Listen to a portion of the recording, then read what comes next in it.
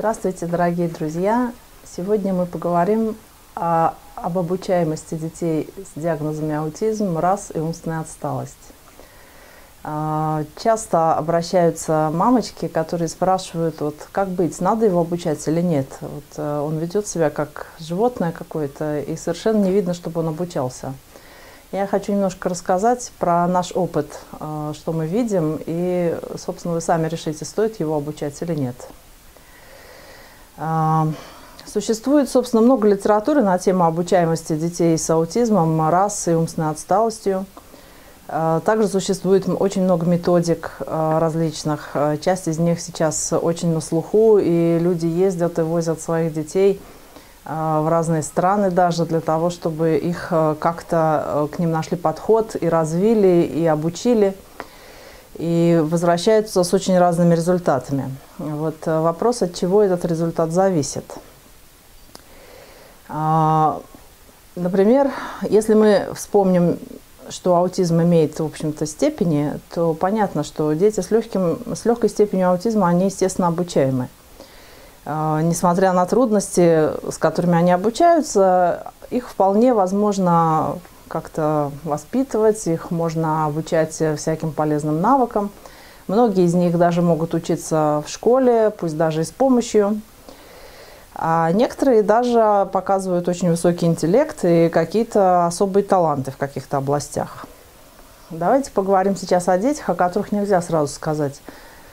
Воспринимает ли этот конкретный ребенок вообще что-то из того, что ему пытаются как бы преподать, чему его пытаются обучить? Э, к сожалению, аутизм очень такая вещь, что очень сложно сказать заранее на 100%, что вот этот ребенок однозначно обучаем, а вот этот ребенок однозначно нет. То есть его степень обучаемости ребенка впрямую связана с тяжестью его состояния. То есть очевидно, что если ребенок себя плохо чувствует, то он себя обучаться не будет. Если у ребенка нарушена, например, коммуникация, то есть он неправильно видит, неправильно слышит, то тоже его обучить очень сложно.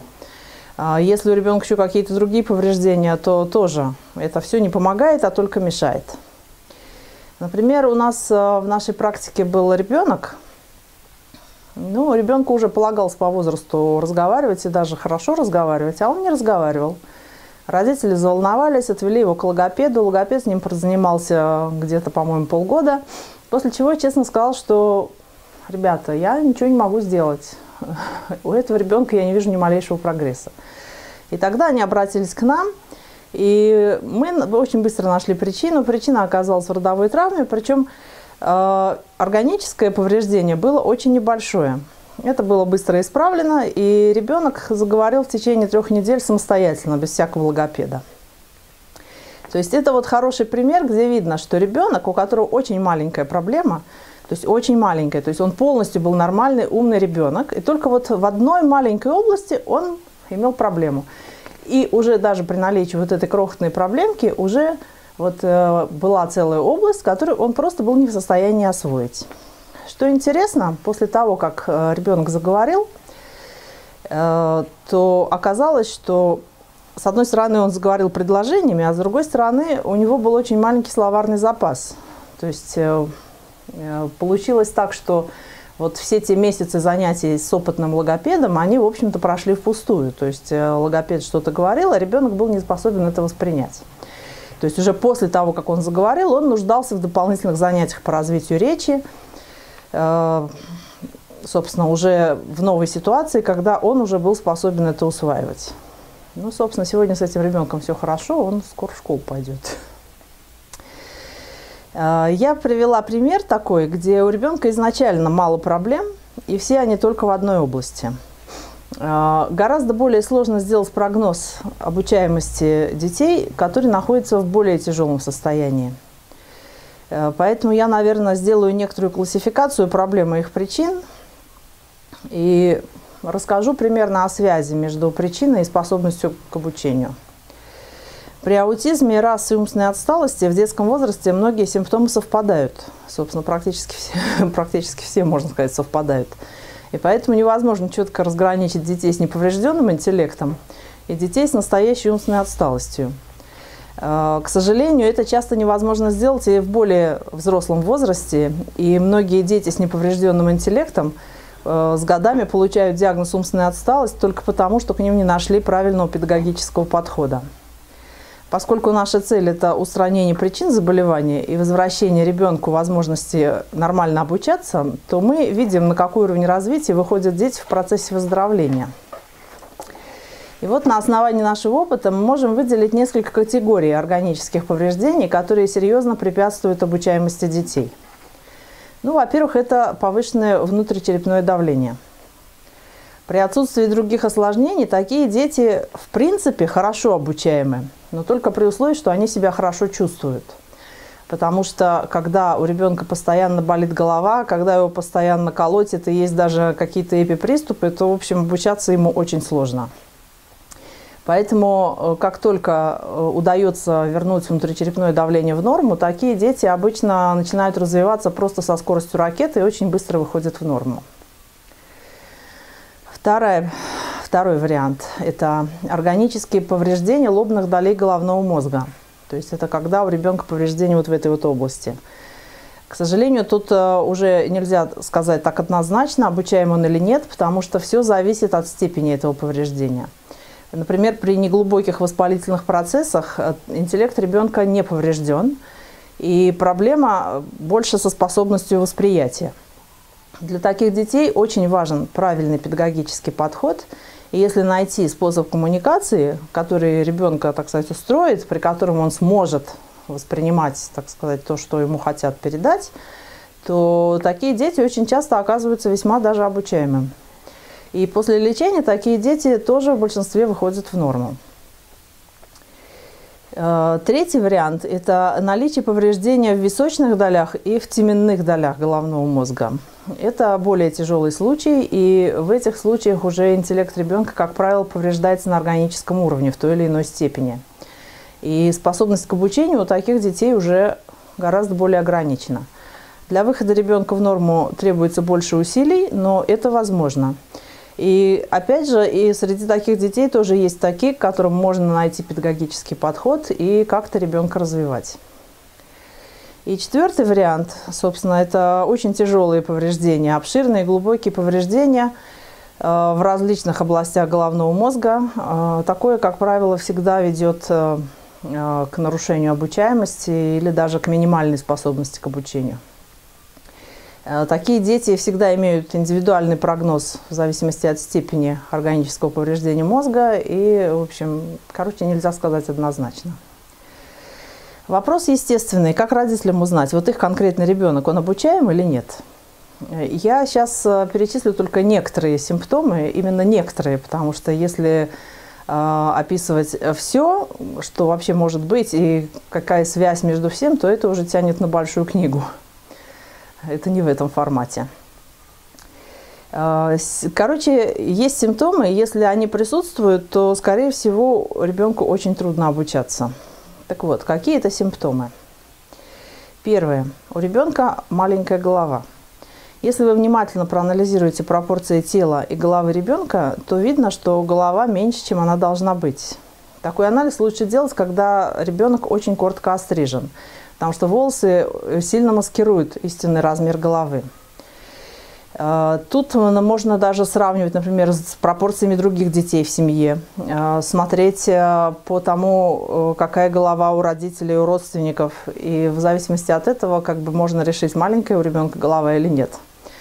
У таких детей интеллект, как правило, снижен, потому что это уже дает подозрение на микроцефалию и на сильное недоразвитие головного мозга. И, собственно, их обучаемость зависит именно от того, насколько головной мозг сумел развиться. А, второе. Ребенок проявляет гиперактивность, плохо фиксирует свое внимание на чем бы то ни было. Обучаемость таких детей сильно зависит от состояния их интеллекта. Дети с неповрежденным интеллектом, а, как правило, могут усваивать большую часть э, материала, который им предлагается. И это в какой-то момент э, проявляется изменениями в поведении, обретениями новых навыков и прочее. Если интеллект у такого ребенка снижен, то ребенок может быть очень слабо обучаем. Третье. Ребенок проявляет гиперактивность и агрессию. Это признаки, которые уже могут указывать на тяжелую умственную отсталость. Как правило, такие дети слабо обучаемы. И четвертое, что я здесь сейчас упомяну, это не говорит, что это последнее и что нет других еще признаков. Ребенок проявляет самоагрессию. Это симптом, э, который, как правило, свидетельствует о тяжелом органическом поражении головного мозга. И такие дети, как правило, очень слабо обучаемы. При устранении органической причины заболевания степень обучаемости детей резко возрастает, и это дает возможность для их дальнейшего развития. Иногда родители задаются вопросом, а надо ли вообще э, развивать таких детей? Вот он такой вот родился, и что вот, может быть, его нужно оставить таким, какой он есть? Давайте подумаем, а что за этим вопросом может стоять? Естественно, мы учитываем только варианты, когда э, родители действительно хотят э, своему ребенку добра, а не когда им на него наплевать. Собственно, у родителей, которые искренне заботятся о своем ребенке, можно выделить две причины, две основных причины для возникновения этого вопроса. Первая причина – родитель, ну, обычно это мама, в отчаянии. Она просто не видит уже никакой отдачи от ребенка на все свои усилия, она просто устала и уже готова опустить руки. И второй вариант – это родители, в этом случае обычно это оба родителя, ничего в ребенка вкладывать не хотят по идеологическим причинам. Они уверены, что у ребенка свой внутренний путь развития, и не следует вмешиваться, чтобы не нарушить и не испортить его внутренний потенциал. Такое бывает, если ребенок проявляет какие-то уникальные черты и способности – на фоне прочего аутизма или других каких-то симптомов. Так вот, э, отчаявшимся мамам я скажу вот что. Да, это страшно, когда вы вкладываете в ребенка, а отдачи нет. И вот э, вы вокруг него прыгаете, вы его и так учите, и сяк учите, а он все равно орет, ходит в памперс и ничего абсолютно как бы не возвращает. То есть непонятно, то ли он вообще э, вас любит, то ли он вас не любит, то ли Короче, непонятно. Это очень тяжелая ситуация. Э, и тем не менее, мы знаем, собственно, в нашем опыте мы видели, что иногда и даже довольно часто в какой-то момент у таких детей тоже начинает проявляться отдача. То есть они показывают, что да, они воспринимают, и они любят, и они готовы, э, готовы участвовать, и готовы сопереживать и так далее. Просто им трудно, им больно. И вот э, когда происходит, например, заживление поврежденного мозга, а это происходит иногда, иногда с нашей помощью, и тогда ребенок вдруг внезапно превращается из звереныша в человека. А иногда даже этот человек оказывается очень добрым, заботливым и даже талантливым. В нашей практике мы такие превращения видели и надеемся еще увидеть. И поскольку я знаю, что мама своего ребенка не бросит – она будет его тянуть, пока у нее есть просто силы, то я скажу, надейтесь и делайте все для того, чтобы и с вашим ребенком тоже случилось чудо. Потому что все в руках Всевышнего. Ну, а родителям, которые считают, что если ребенок проявляет какие-то особые способности на фоне всего остального, значит, что его внутренняя жизнь гораздо более важна, чем нормальное развитие и нормальная коммуникация с другими людьми, я расскажу вот как – что дети, которые э, начинают выздоравливать вот с такими способностями, то мы видели, что их потенциал начинает проявляться гораздо более полно, гораздо более обширно. Более того, дети начинают проявлять еще другие способности. Еще плюс к этому они начинают вписываться в общество. И это просто делает всю семью гораздо более счастливой. Ну и мы рады способствовать раскрытию этого потенциала потому что это тоже все в руках Всевышнего. Теперь спасибо вам. До свидания.